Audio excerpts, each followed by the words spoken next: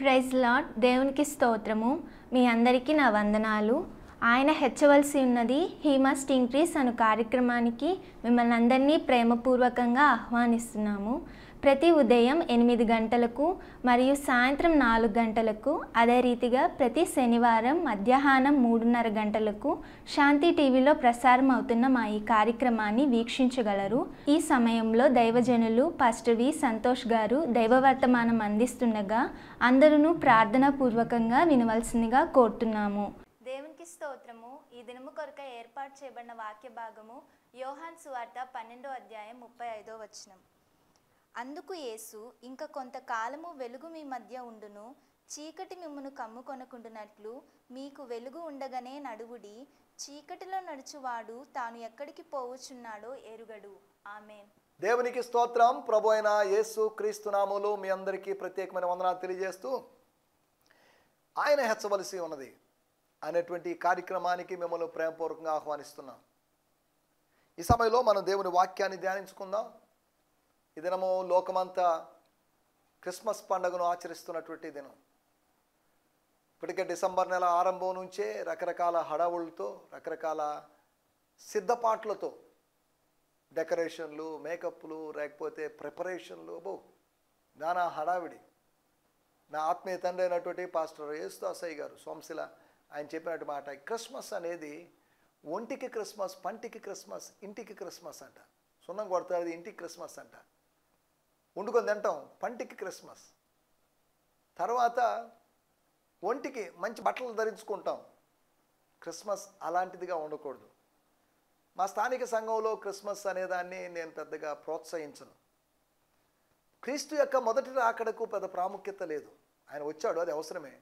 కానీ అతి ప్రాముఖ్యమైన ఒక రాకడ చాలా అత్యవసరమైనటువంటి రాకడ క్రీస్తు యొక్క రెండో రాకడ. దానికోసం మనం సిద్ధపడుతున్నాం. రెండు వేల సంవత్సరాల క్రితం జరిగినటువంటి సంఘటన గురించి ఆర్భాటం చేయాల్సిన అవసరం. క్రిస్మస్ చేసుకోమని బైబిల్ ఎక్కడ లేదు. కానీ ఏదో అలవాటుగా సంవత్సరాల తరబడి మనం అలా చేస్తూ ఉన్నాం. సరే వీటిలోకి వెళ్ళడం లేదు కానీ దేవుని వాక్యాన్ని ధ్యానించుకుందాం. అలాగని కొంతమంది అంటారు మనకు ప్రతిరోజు క్రిస్మస్ ప్రతి ఆదివారం క్రిస్మస్ అని. క్రిస్మస్ అనే మాట యొక్క అవసరత కూడా అక్కడ లేదు. ప్రతిరోజు క్రిస్మస్ ఏంటి? ప్రతి ఆదివారం క్రిస్మస్ ఏంటి? క్రీస్తుతో మనకు ఒక ఆనందం ఉంది ఒక అనుబంధం ఉంది.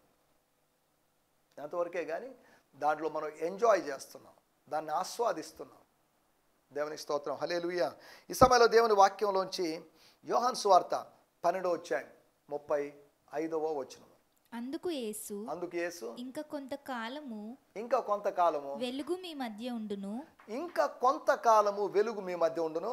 చీకటి మిమ్మును కమ్ముకొనకుండునట్లు చీకటి మిమ్మను కమ్ముకొనకుండునట్లు మీకు వెలుగు ఉండగానే మీకు వెలుగు ఉండగానే నడువుడి నడవండి. చీకటిలో నడుచువాడు. చీకటిలో నడుచువాడు. తాను ఎక్కడికి పోవచ్చున్నాడో ఎరుగడు. తాను ఎక్కడికి పోవచ్చున్నాడో ఎరుగడు.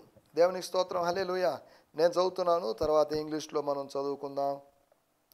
అప్పుడు యేసు వాళ్ళతో వెలుగు మీకోసం ఇంకా కొంతకాలం మాత్రమే ఉంటుంది. చీకటి రాకముందే అంటే వెలుగు ఉండగానే ప్రయాణం సాగించండి. చీకట్లో నడిచే వ్యక్తికి తాను ఎక్కడికి వెళ్తున్నాడో తెలియదు. నేను మరలా చదువుతున్నాను. అప్పుడు యేసు వాళ్ళతో వెలుగు మీకోసం ఇంకా కొంతకాలం మాత్రమే ఉంటుంది. చీకటి రాకముందే అంటే వెలుగు ఉండగానే ప్రయాణం సాగించండి.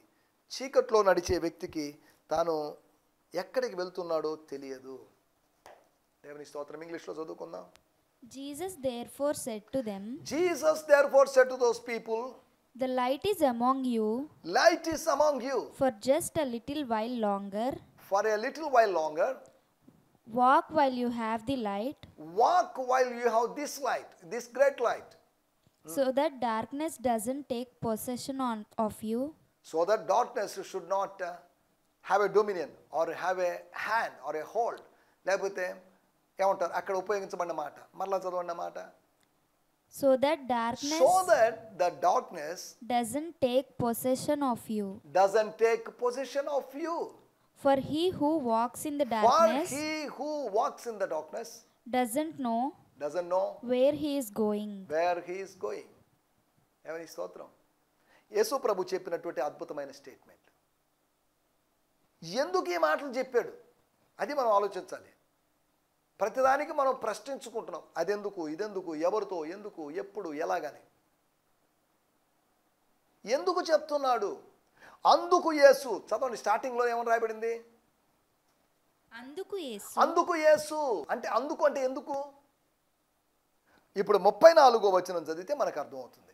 జనసమూహము జన సమూహము క్రీస్తు ఎల్లప్పుడూ ఉండునని క్రీస్తు ఎల్లప్పుడూ ఉండునని ధర్మశాస్త్రము చెప్పుట వింటిమి. ధర్మశాస్త్రము చెప్పుట వింటిమి. మనుష్య కుమారుడు పైకెత్తబడవలనని మనుష్య కుమారుడు పైకెత్తబడవల్లని నీవు చెప్పుచున్న సంగతి ఏమిటి? నీవు చెప్పుతున్న సంగతి ఏమిటి? మనుష్య కుమారుడగు ఈయన మనుష్య కుమారుడగు ఈయన ఎవరని ఎవరని? ఆయన అడిగిరి. ఆయనను అడిగిరి. అందుకు యేసు. అనగా యేసు ప్రజల ప్రశ్నకు సమాధానం ఇస్తున్నాడు ప్రశ్న ఏంటంటే మనుష్య కుమారుడగు ఈయన ఎవరు? లేకపోతే యేసు ఎవరు? అసలు నువ్వు ఎవరివి? హూ ఆర్ యూ చూడండి మన ఉనికిని ప్రశ్నించేటువంటి సందర్భాలు చాలా ఉంటాయి. మీరు దేవుని సేవకులేనా? మీరు విశ్వాసులేనా? మీరు క్రైస్తవులేనా? మీరు భారతీయులేనా? మీరు ఈ ఊళ్ళోనా ఈ ఊరోళ్ళేనా? మీరు చదువుకున్నోళ్ళేనా? ఇలా రకరకాలుగా మనల్ని మన గురించినటువంటి ప్రశ్నలు కనిపిస్తాయి. ఇక్కడ మనం ఆలోచిస్తున్న మాట యేసు యొక్క సమాధానం ముప్పై ఐదో వచనంలో మన మూలవాక్యం. ఇంకా కొంతకాలం వెలుగుంటుంది అవి చెప్తున్నాడు. అంటే యేసు ప్రభు ఒక ప్రశ్నకు సమాధానంగా ఈ మాట చెప్తున్నాడు. ప్రశ్న ఏంటంటే మనుష్య కుమారుడగు ఈయనెవరు? మనుష్య కుమారుడెవరు? దేవుని కుమారుడు ఎవరని కాదు ప్రశ్న. మనుష్య కుమారుడు ఎవరు? దేవుని కుమారుడు మనుష్య కుమారుడు అయ్యాడు ఈ మనుష్య కుమారుడు అయిన వాడు నిత్యత్వంలో ఆయన దేవుని కుమారుడు. ఈ లోకానికి వచ్చినప్పుడు ఆయన మనుష్య కుమారుడు. ప్రకటన గ్రంథం పంతొమ్మిదో అధ్యాయంలో మరలా నిత్యత్వంలో ఆయన పెండ్లి కుమారుడు. కుమారుడు నిత్యుడగు తండ్రి అని చెప్పబడినటువంటి కుమారుడు. నిత్యుడగు కుమారుడు కాదు ఆయన. నిత్యుడగు ఆత్మ నిత్యుడగు తండ్రి. అందుకని నిత్యుడగు కుమారుడు కాదు. నిత్యుడగు కుమారుడు అంటే కుమారుడు ఎక్కడ నిత్యుడుగా ఉన్నాడు? ముప్పై మూడున్నర సంవత్సరాలేగా. అనగా దేవుని కుమారుడు అంటే దేవత్వం అని మనుష్య కుమారుడు అంటే మానవత్వం అని మనకు తెలిసిన విషయమే. ఇప్పుడు వాళ్ళకి అర్థం కాని ప్రశ్న వాళ్ళు కన్ఫ్యూషన్లో ఉన్నారు. ఏంటిదంతా?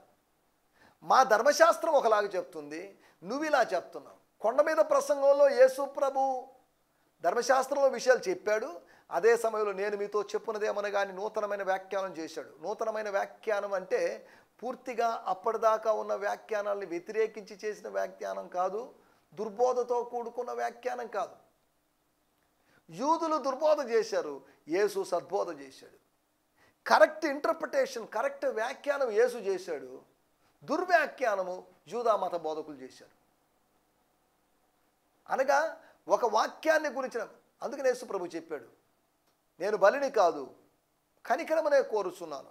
అనే మాటకు అర్థం మీరేదో తెలుసుకోండి పోయి నేర్చుకోండి. మీ వాళ్ళని అడగండి మీ ప్రీస్టులను అడగండి.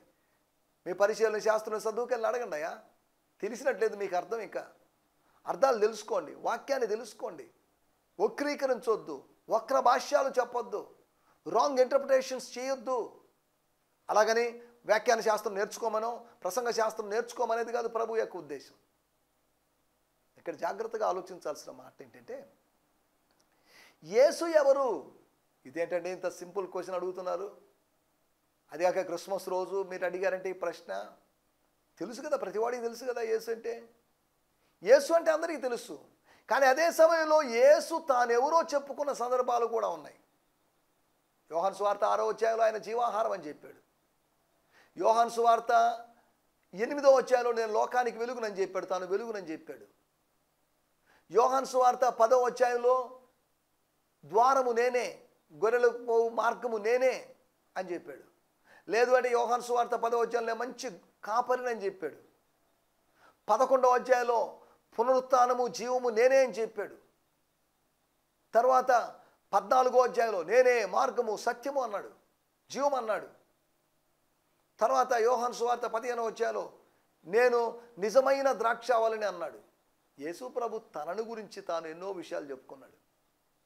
ప్రజలు ఇవి అర్థం చేసుకోలేదు. ఇప్పుడు అడుగుతున్న ప్రశ్న యోహన్ స్వార్థ పదో వాళ్ళు అడిగారు నువ్వు క్రీస్తు అయితే మాకు స్పష్టంగా చెప్పు మమ్మల్ని ఎంతకాలము సందేహ పెట్టుదువు అని అడిగారు. అప్పుడు క్లారిటీ ఇచ్చాడు నేను మొదటి నుంచి ఎవరినని చెప్తున్నానో అదే కానీ నేను మాట మార్చేవాడిని కాదు. మాట మీద నిలబడేవాడిని మాటను కాపాడుకునేవాడిని. ఆయన మాట మార్చడు ఆయన కార్యాలు జరగడం అనేది ఆపడు ఆయన వ్యక్తిత్వం ఆయన మెంటాలిటీ అనేదాన్ని మార్చుకోడు. ఆయన తన స్వభావానికి విరుద్ధముగా ఏమీ చేయడు. ఆయన స్వభావం స్థిరం ఆయన పలుకు స్థిరము ఆయన జీవితం స్థిరం. దేవుని స్తోత్రం హలేరుయ కాబట్టి మనం ఇక్కడ ఆలోచిస్తున్న మాటలు ఏసు ఎవరు? ఇదే ఇంత సింపుల్ క్వశ్చన్ అడుగుతున్నారే? ఏసు చెప్పిన మాటలు లేదా ముప్పై ఐదో వచనంలోంచి మూడు విషయాలు మనం అర్థం చేసుకోవడానికి ప్రయత్నం చేద్దాం. యేసు ఎవరు అనేటువంటి ఒక ప్రశ్నకి కరెక్ట్గా ఒక్క ఆన్సర్ అని మనం చెప్పలేం. ఒక్క జవాబే అని చెప్పలేం. దానికి బోల్డ్ జవాబులు చెప్పచ్చు. కొంతమంది యేసు అడిగితే యేసు మంచోడండి. యేసు సత్పురుషుడండి. యేసు మంచి గురువు అండి అని రకరకాలుగా చెప్తున్నారు. కానీ యేసు ఎవరు? నాకు ఆయనతో ఉన్నటువంటి అనుబంధం దృష్ట్యా యేసు ఎవరని నేను చెప్పగలను? నాకు ఆయనతో ఒక అనుబంధం ఉంది. యేసుతో మనకు ఒక అనుబంధం ఉంది. ఆ అనుబంధం దృష్ట్యా మనం ఏం చెప్పగలం? దేవుని స్తోత్రం. హలేలుయ ఇక్కడ మనం ఆలోచిస్తున్న ఈ వచనంలోంచి మూడు విషయాలు యేసు ఎవరు అనే దానికి మూడు సమాధానాలు మనం చెప్పుకుందాం లేదా తెలుసుకుందాం. ఏంటవి? చెప్తున్న సందర్భం యేసు ఈ వివరణ ఇస్తున్న సందర్భం. యేసు లేకపోతే నువ్వెవరివి? వాళ్ళు లిటిల్ బిట్ కన్ఫ్యూజన్లో ఉన్నారు. క్రీస్త క్రైస్త లేకపోతే మస్సియానా? అనగా అభిషక్తుని గురించి మాట్లాడుతున్నాడా? ధర్మశాస్త్రం ఇలా చెప్తుందన్నారు. ధర్మశాస్త్రం ఎక్కడ ఇలా చెప్పిందో వాళ్ళు ప్రస్తావించలేదు. క్రీస్తు ఎల్లప్పుడూ ఉంటాడు అని. ఎల్లప్పుడు ఎలా ఉంటాడు? క్రీస్తు ఎల్లప్పుడూ ఉంటాడు. కానీ దానియాల గ్రంథంలో తొమ్మిదో అధ్యాయంలో అభిషక్తుడు మస్సయ్య. కొత్త నిబంధనలో జషువా యశువా ఆయన ఎల్లప్పుడూ ఉంటాడు చెప్ప అభిషక్తుడు నిర్మూలమవుతాడని దాని దానియాల గ్రంథం చెప్తుంటే దాన్ని మర్చిపోయి ధర్మశాస్త్రం ఎల్లప్పుడూ ఉంటాడు అని ఎలా చెప్తున్నాడు? అవును ఆయన ఎల్లప్పుడూ ఉండగలడు. నిత్యత్వంలో ఉన్నాడు నిత్యత్వంలో కూడా ఉంటాడు. పురాతన కాలము నుంచి శాశ్వత కాలం వరకు ప్రత్యక్షమయ్యే దేవుడే. కానీ వీళ్ళు అంటున్న మాట ఏంటిదంతా? దేవర్ ఇన్ కన్ఫ్యూజన్ కన్ఫ్యూజన్లో ఉన్న వాళ్ళకి క్లారిటీ ఇస్తున్నాడు యేసుప్రభు. నువ్వు ఒకవేళ ఈ మాటలు వింటున్నప్పుడు లేకపోతే వేరే టీవీ సందేశాలు వింటున్నప్పుడు వేరే ఏదైనా మాటలు విన్నప్పుడు కన్ఫ్యూజన్లో ఉన్నావేమో. దేవుడు నీకు క్లారిటీ ఇస్తాడు. He will give clarity through his word through the word of God దేవుని యొక్క మాటల ద్వారా నీకు క్లారిటీ ఇస్తాడు. దేవునికి స్తోత్రం. హలేలుయ క్లారిటీ లేకపోతే నువ్వు కన్ఫ్యూజన్లో ఉంటావు. నువ్వు పరలోక రాజ్యం చేరలేవు. క్లారిటీ కావాలి. క్రిస్టల్ క్లారిటీ కావాలి. క్రిస్టల్ క్లియర్గా నువ్వు విషయాలు అర్థం చేసుకోవాలి. దేవుని స్తోత్రం. హలేలుయ స్ఫటికము వంటి సముద్రం అని రాయబడింది. అలాగా స్ఫటికంతో కూడా స్వచ్ఛమైనటువంటి సీత్రు లేదా ట్రాన్స్పరెంట్గా ఉన్నటువంటి పారదర్శకంగా ఉన్నటువంటి పరిస్థితి వస్తువు. దేవుని స్తోత్రం. హలేలుయ యేసు ఎవరు? మొట్టమొదటి మాట ముప్పై ఐదవ వచనం. అందుకు యేసు అందుకు యేసు. ఇంకా కొంతకాలము ఇంకా కొంతకాలము వెలుగు మీ మధ్య ఉండును. వెలుగు మీ మధ్య అంటే ఏంటిది? కొంతకాలమా? కొన్ని గంటల? కొన్ని నిమిషాల?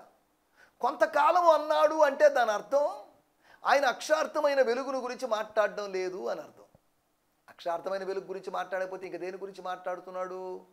ఆత్మ సంబంధమైన వెలుగును గురించి మాట్లాడుతున్నాడు. అనగా తన గురించి తాను మాట్లాడుతున్నాడు. ఆయన ఇతరుల గురించి నువ్వెవరివి అని అడిగారు వాళ్ళు. యోహాన్ని అడిగారు నువ్వెవరు అని అడిగారు.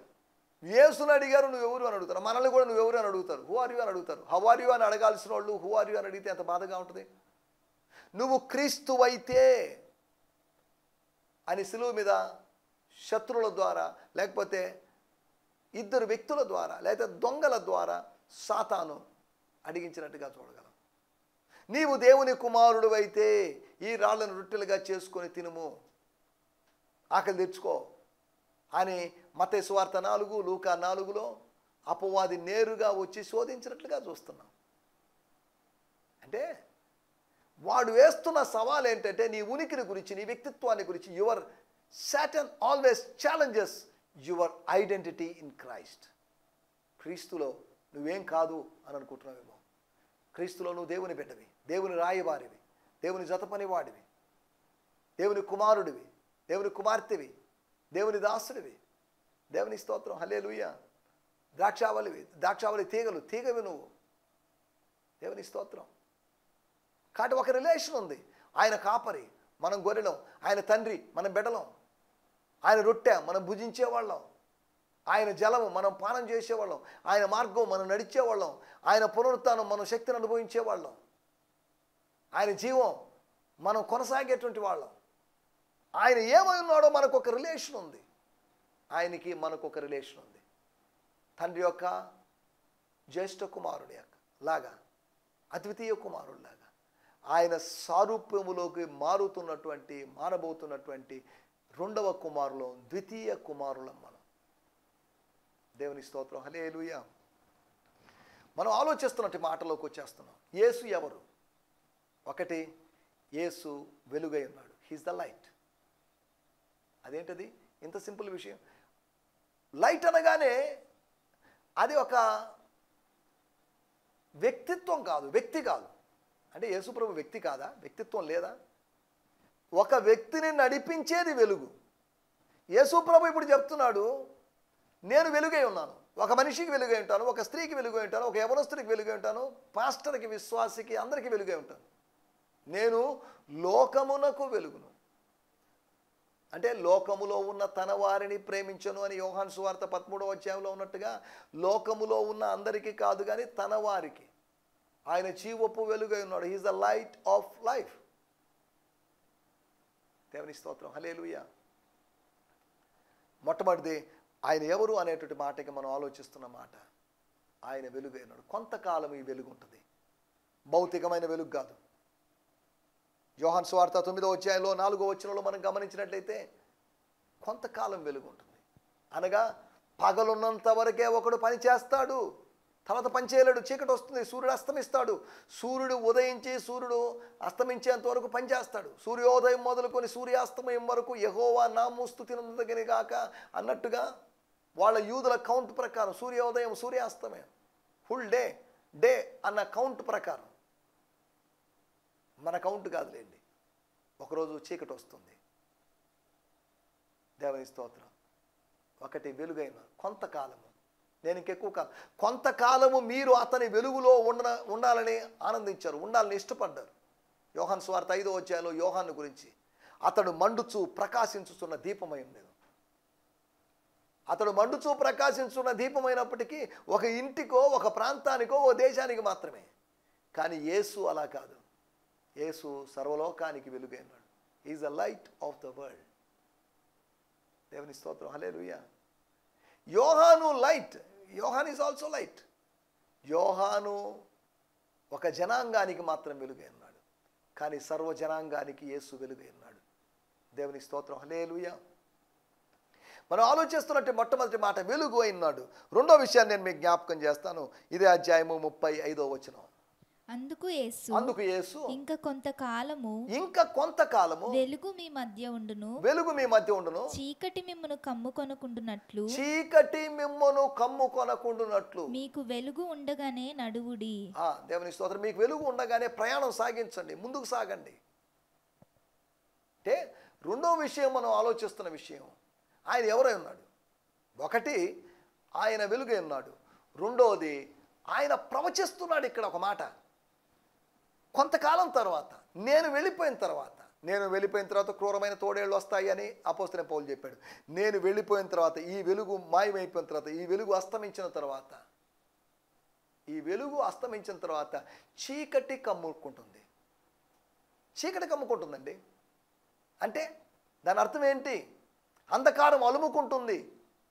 లూకాసు వార్త ఒకటో అధ్యాయంలో మనం గమనించినట్లయితే సర్వోన్నతుని శక్తి నిన్ను కమ్ముకుంటుంది. దేవుని బిడ్డను శక్తి కమ్ముకుంటూ ఉంటే దేవుని బిడ్డ కాని వాడిని చీకటి కమ్ముకుంటుంది. కళ్ళు బైర్లు కమ్ముతున్నాయి. లేదా చీకటి కళ్ళ ముందు కటిక చీకటి. చుమ్మ చీకటి ఎటు కదిలాం? ఏం జరుగుతుందో అర్థం కాని పరిస్థితి. తడవలాడాల్సిన పరిస్థితి తెచ్చేటువంటి చీకటి. ఇక్కడ రాయబడిన మాటలు. కొంతకాలం తర్వాత లేదా ఈ లోకం మీదకి చీకటి కలిగిన ప్రాంతంలో గాఢాంధకారం కలిగిన ప్రాంతంలో గలలియా ప్రాంతంలోకి వచ్చి ఆయన పరిచర్య చేశాడు. అప్పుడు వెలుగునిచ్చాడు వెలుగును ప్రసరింపజేశాడు. ఇప్పుడు ఆయన చెప్తున్నట్టు మాట ఏంటంటే కొంతకాలం తర్వాత చీకటి కమ్మ he's prophesying he was prophesying prophecy చెప్తున్నాడు ప్రవచనం చెప్తున్నాడు. ప్రవచనం చెప్పేవాడు ప్రవక్త అని మనకు తెలుసు. ఒక రాత్రి వస్తుంది అనేటువంటి ఒక సందేశాన్ని గత ఎపిసోడ్లో యోహాన్ స్వార్థ తొమ్మిదో వచ్చాను నాలుగో వచ్చంలో మనం విన్నాం. పగలున్నంత వరకు పనిచేస్తారు. రాత్రి వచ్చినప్పుడు ఎవరు పని రాత్రి వస్తుంది జాగ్రత్త. చీకటి వస్తుంది జాగ్రత్త. అంధకారం అలుముకుంటుంది జాగ్రత్త. ఆత్మశక్తి అలుముకోవలసిన వాళ్ళు అంధకారము చేత అలుముకోబడడం విచారకరమైన విషయం. కొంతమంది ప్రార్థన చేసి చెప్తారు ఆ ఇంట్లో చీకటి ఉంది ఇంట్లో చీకటి ఉందని. వాస్తవమే. దేవునికి స్తోత్రం. మనం ఆలోచిస్తున్న విషయం చీకటి కమ్ముకుంటుంది. అస్తమయమైపోతుంది. సూర్యుడు అస్తమిస్తున్నాడు. కానీ ఆత్మ సంబంధంగా మన సూర్యుడు అస్తమించడు. మన నీతి సూర్యుడు అస్తమించడు. మనకు అంధకారం లేదు. అంధకారాన్ని అంతం చేసుకొని అంధకారానికి గుడ్ బై చెప్పి మనం వచ్చాం. మనకు అంధకారం లేదు. మనకు ఎప్పుడు వెలుగే. నిత్యమైన వెలుగుగా ఆయన ఉన్నాడు. దేవుని స్తోత్రం. హలే రెండో విషయం ఆయన ప్రవక్త అయి ఉన్నాడు హీ వాజ్ ఎ ప్రాఫెట్ ప్రవక్త అంటున్నప్పుడు ఏది ప్రవక్త అనేది గొప్ప సంగతే? వాళ్ళేమో క్రీస్తు వాళ్ళేదో మనుష్య కుమారుడు అడుగుతుంటే ప్రవక్త అనేటువంటి ప్రస్తావన తీసుకొచ్చారే. ప్రవక్త అని చెప్పడం లేకపోతే ఆయన ఎవరు అనేదానికి ప్రవక్త అని చెప్పడం ఎంత సింపుల్గా ఉంది అని అనుకుంటున్నారేమో. గమనించాలి ప్రవక్త అన్నప్పుడు ఆయన ఇతర ప్రవక్త లాంటి వాడు కాదు. లోక ఇరవై నాలుగు రాయబడింది ఆయన మాటలోను క్రియలను శక్తి కలిగిన ప్రవక్త ఉండను ప్రవక్త అంటున్నప్పుడు ద్వితీయోపదేశ కాండం పద్దెనిమిదో అధ్యాయంలో ఉన్నట్టుగా మోషే చెప్పినటువంటి మోషే ప్రవచించినటువంటి ప్రవక్త. అనగా ప్రవచనాల్లో ఉన్నటువంటి నువ్వు లోకమునకు రాబో ప్రవక్త అన్న వాళ్ళే రొట్టెలు తిని ఐదు వేల మంది గ్రూపులో చేరి రొట్టెలు తిన్నవాళ్ళు నువ్వు రాబో ప్రవక్త అన్నారు బాగానే ఉంది. మళ్ళీ ఇప్పుడు ఆయన ప్రవక్త అనే సంగతి మర్చిపోయారు. ఆయన యొక్క ప్రవచనాన్ని మర్చిపోయారు. దేవాలయాన్ని పడగొట్టండి మూడు రోజులు లేపుతారనే ప్రవచనం మర్చిపోయారు. ఈ దేవాలయం రాతి మీద రాయి నిలవకుండా పడిపోతుంది ఒకరోజు రాబోతుంది ఎరుషులేం ముట్టడి వేయబోతుంది అని చెప్పినట్టు ప్రాఫసీస్ మర్చిపోయారు. ప్రవచన యేసు చెప్పిన మాటలు మర్చిపోయారు. యేసు ఎవరు అనేది మర్చిపోయారు. ప్రవక్త అంటే ప్రభు మాటలు చెప్పేవాడు సొంత మాటలు చెప్పేవాడు కాదు. ఎవడి ఊహ వలన వచ్చేది కాదు ప్రవచనం. ఊహించి చెప్పడం కాదు ప్రవచనం. దేవుని స్తోత్రం. ఊహించి చెప్పడం ఒక ప్రొడిక్షన్ కానీ ఇది ఊహి ఆత్మ బయలుపరిస్తే చెప్పడం ఇది ప్రవచనం. దేవుని స్తోత్రం. వచనం కాదు ఇది ప్రవచనం.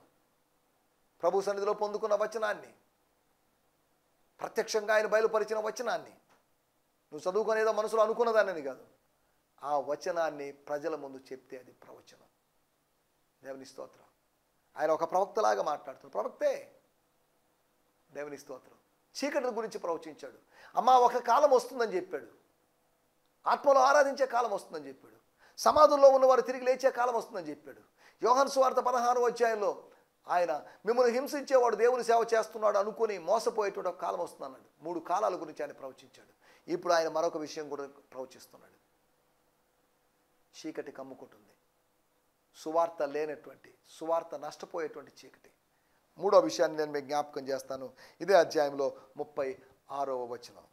మీరు వెలుగు సంబంధులగునట్లు మీరు వెలుగు సంబంధులగునట్లు. మీకు వెలుగుండగానే వెలుగునందు విశ్వాసం ఉంచిన మీరు వెలుగు సంబంధులు కావాలి. అది ఇన్విటేషన్ అది ఆహ్వానం అది స్వాగతం. మీరు వెలుగు సంబంధులు కారు ఇప్పుడు. చీకటి సంబంధులు మీరు అపవాది సంబంధులు.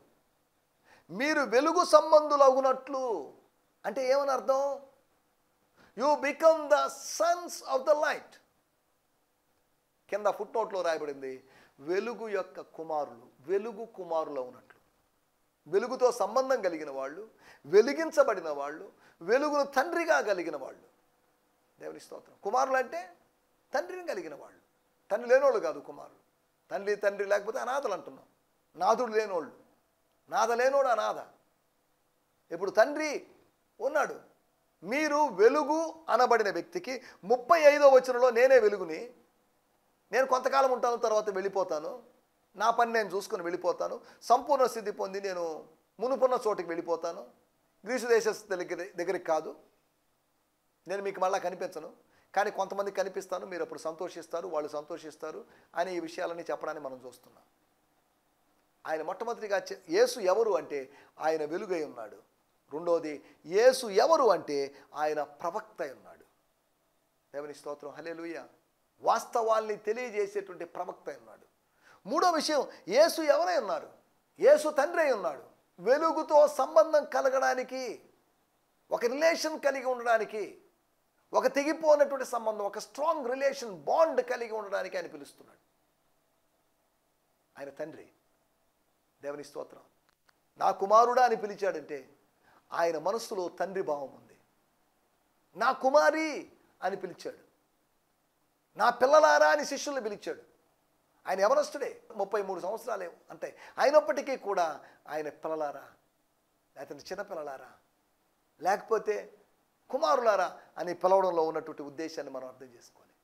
Is a fatherhood of Jesus Christ fatherhood of the father అని కాదు. ఫాదర్హుడ్ ఆఫ్ జెహోవా గాడ్ అని కాదు. మనం ఆలోచిస్తుంది ఆయన యొక్క పితృత్వం. దేవుని స్తోత్రం. హలేలుయ ప్రభువు యొక్క పితృత్వం. Father the spirit of the father తండ్రి యొక్క ఆత్మ కుమారుడుగా భావిస్తున్నాడు. కుమారులు కావాలి వెలుగు సంబంధులు కావాలి వెలుగు యొక్క కుమారులు కావాలి. వెలుగు ఒకవేళ ఒక ఆబ్జెక్ట్ అయితే వెలుగు ఒకవేళ ఒక లక్షణమో ఒక ఒక నడిపించే వస్తువు లాంటిదైతే దానికి కుమారుల యొక్క అవసరత లేదు. పెద్ద వెలుగు యొక్క కూతురు పెద్ద వెలుగు యొక్క కొడుకు చిన్న వెలుగు అని ఎవరు చెప్పరు. వెలుగు కుమారులు అంటున్నారంటే దాని అర్థం ఏంటంటే వెలుగు సంబంధం అవుతున్న వెలుగుతో వెలుగును కలిగి వెలిగించబడి చీకటిని పారదోరుకున్నవారు అని దాని అర్థం. దేవుని స్తోత్రం. అంటే యేసు ప్రభు చెప్తున్నట్టు మూడో మూడో విషయం తనను తాను తండ్రిగా ప్రస్తావించుకుంటున్నాడు. తను తాను నేను నేనే తండ్రి అని చెప్పుకోలేక తాను చెప్పుకుంటున్నాడు. దేవుని స్తోత్రం. ఈజ్ అ ఫాదర్ నేను నా తండ్రి ఏకమై ఉన్నాం నేను నా తండ్రి ఏకమైనట్టు తండ్రి తండ్రిగా ఉన్నాడు నేను కూడా తండ్రినే. దేవుని స్తోత్రం. హలేలుయ్య తండ్రి లేని స్థలంలో లేకపోతే తండ్రి లేని స్థానంలో కొన్నిసార్లు పెద్ద కుమారుడే తండ్రిలాగా బిహేవ్ చేస్తాడు. అలాగే ఇప్పుడు యేసు తండ్రి ఉన్నాడు. యేసు మనకు తండ్రి. హీజ్ అవర్ ఫాదర్ ఫాదర్ అంటే ఆరంభించిన వాడు ఆరంభకుడు. ప్యాటర్ అన్నారు గ్రీకు భాషలో. ప్యాటర్ నుంచి ఫాదర్ పాటర్ ఫాదర్ వచ్చేసింది. సరే దేవునికి స్తోత్రం. మూడో విషయం. యేసు ఎవరు అనే మాటకి మన సమాధానం లేదా వాక్యం చెప్తున్నట్టు విషయం. ఆయన తండ్రి అయినాడు. దయచేసి కళ్ళు మూసుకోండి తలలోంచండి చిన్న ప్రార్థన చేసుకుందాం. పరిశుద్ధులమైన మా దేవా మీకు వందనాలు. మీరు మాకు వినిపించిన మాటల కొరకే మీకు వందనాలు. మీరు ఏమై ఉన్నారో లేఖనాల్లో పరిశోధించి తెలుసుకునేటువంటి కృపను మీరు మాకు ఇచ్చినందుకు మీకు వందనం చేస్తున్నాం కాబట్టి మీరు ఏమైనారో అందరూ బట్టి మీకు వందనం చేయిస్తున్నాం. మీరు వెలుగై ఉన్నారు ప్రభు అంతేకాకుండా మీరు ప్రవక్త అయి ఉన్నారు. అంతేకాకుండా మీరు తండ్రి అయి ఉన్నారు. కాబట్టి నిన్ను మేము మాలో కలిగి ఉన్నాం వెలుగుగా కలిగి ఉన్నాం. నువ్వు మాకు ప్రవక్తగా ఉన్నావు. మోషే ప్రవచించిన ప్రవక్తగా బలమైన ప్రవక్తగా. మూడోదిగా నువ్వు మాకు తండ్రిగా ఉన్నావు. అందరి బట్టి మీకు స్థుతులు చెల్లిస్తున్నాం. మీరు మాకు వినిపించిన మాటల కొరకే మీకు వందనం చేస్తూ మీరు ఎవరో మీ గురించి మరింత అవగాహన మేము కలిగి ముందు సాగుతూ సాయం చేయండి. మాకు వినిపించిన మాటల కొరకే మీకు స్తోత్రం. ఏ సునాములోనే ప్రార్థించగలుగుతున్నాం పరమ తండ్రి. ఆమె ఆమె దేవుని స్తోత్రం మీ అందరికీ వందనాలు. ప్రభుచితమైతే మరొక ఎపిసోడ్లో కలుసుకుందాం. హాలెలూయా